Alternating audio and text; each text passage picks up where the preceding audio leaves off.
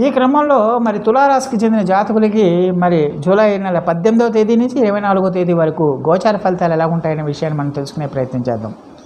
తులారాశి జాతకులు ఈ గ్రహాల యొక్క గమనం చాలా వరకు అనుకూలంగా ఉండటం వల్ల చాలా వరకు శుభకరమైన ఫలితాలు ఎక్కువగా రావడానికి ఎక్కువగా అవకాశం ఉంటుంది. గతంతో పోల్చుకుంటే తులారాశి జాతకులకి ఈ వారం చాలా అత్యద్భుతంగా ఉంటుంది. ఇంటా బయట సుఖం ఉంటుంది సంతోషకరమైన వార్తలు వింటారు. స ఇంటా బయట కూడా సుఖంగా సంతోషంగా సాగిపోతుంది విషయాన్ని గమనించాలి. ఈ వారం చా వీళ్ళకి చాలా అనుకూలంగా ఉండటమే కాదు శరీర సౌఖ్యం ఉంటుంది. ముష్టాన్న భోజన భోజనాన్ని మీరు చేస్తారు. అంటే విందు వినోద కార్యక్రమాల్లో పాల్గొంటారు. బంధుమిత్రులతో మీరు విందులు వినోదాల్లో పాల్గొంటారు. చాలా హ్యాపీగా సుఖంగా సంతోషంగా ఉంటారన్న విషయాన్ని గమనించాలి. అలాగే ఎక్కడా చూడ ఇంటా బయట ఎక్కడైనా సరే ఉల్లాసవంతమైన పరిస్థితులు ఆరోగ్యకరమైన పరిస్థితులు అలాగే సంతోషకరమైన పరిస్థితులు ఏర్పడడానికి ఎక్కువగా అవకాశం ఉంటుందన్న విషయాన్ని గమనించారు అలాగే మీరు భక్తి వేదాంత కార్యక్రమాల్లో కూడా మీరు పాల్గొనడానికి అవకాశం ఎక్కువగా ఉంటుంది. అలాగే దేవాలయాల సందర్శన కానీ పుణ్యక్షేత్రాల సందర్శన కానీ తీర్థయాత్రల సందర్శన కానీ ఇలా మీరు చేయడానికి ఎక్కువగా అవకాశం ఉంటుందన్న విషయాన్ని ఈ తులారాశికి చెందిన జాతకులు తెలుసుకోవాల్సిన అవసరం ఉంటుంది. అయితే ఈ రాశి జాతకులు మాత్రం మీ ఇంట్లో పెద్దవాళ్ళు ఎవరైనా ఉన్నారో మీ ఫాదర్లు కానీ మదర్ కానీ లేకపోతే మీ అత్తగారు కానీ మాంగారులు కానీ వీళ్ళు పెద్దవాళ్ళు ఎవరైతే ఉన్నారో వాళ్ళ ఆరోగ్య విషయంలో మాత్రం వీళ్ళు వచ్చి కొంచెం జాగ్రత్తలు తీసుకోవాల్సిన అవసరం ఎంతైనా ఉంటుందన్న విషయాన్ని గమనించాలి.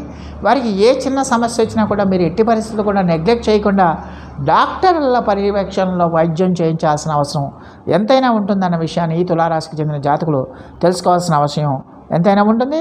అలాగే స్త్రీలు ఎవరైతే ఉన్నారో వాళ్ళు ఖచ్చితంగా కూడా వాళ్ళకి ఆధ్యాత్మిక ఆసక్తి పెరుగుతుంది. భక్తి కార్యక్రమాల్లో భక్తి పూజల్లో పూజా పునస్కారాల్లో వీళ్ళు ఎక్కువగా పాల్పంచడానికి ఎక్కువగా అవకాశం ఉంటుంది.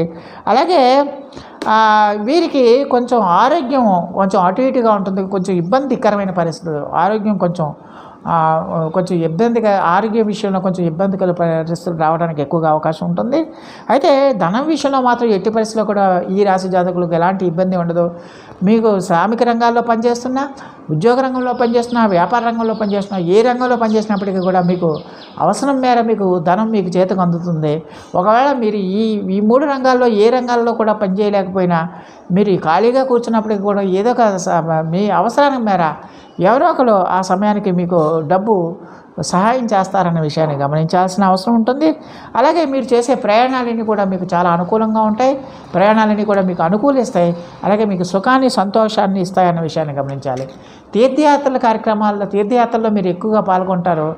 ఆ తీర్థయాత్రలకు వెళ్ళి మీరు హ్యాపీగా ఆనందంగా సుఖంగా సంతోషంగా ఉండటానికి అలాగే ఆధ్యాత్మిక చింతనతో మీరు మెలగడానికి ఎక్కువగా అవకాశం ఉంటుందన్న విషయాన్ని ఈ తులారాశికి చెందిన జాతకులు తెలుసుకోవాల్సిన అవసరం ఉంటుంది. మరి ఈ రాశి జాతకులు మరిన్ని మంచి ఫలితాల కోసం మీ ఇష్టదైవ నామాన్ని స్మరించండి ఇష్టదైవాన్ని పూజించండి. అలాగే మీ వ్యక్తిగత జాతక పరిశీలన కూడా చేసుకుని అక్కడ జరిగే దశాంతర్దశ ఫలితాన్ని కూడా ఒకసారి సరి చూసుకుని ఆ మేరకు మీరు ఉపచారాలు చేయడం అనేది చాలా వరకు మేలు చేస్తుంది. అలాగే ఈ రాశి జాతకులు ప్రతిరోజు కూడా సుబ్రహ్మణ్య ఆ భుజంగ స్తోత్రాన్ని కనుక మీరు పఠిస్తే మే మరిన్ని స సత్ఫలితాలు మరిన్ని వేగవంతమైన ఫలితాలు రావడానికి ఎక్కువగా అవకాశం ఉంటుందన్న విషయాన్ని గమనించాల్సిన అవసరం ఉంటుంది.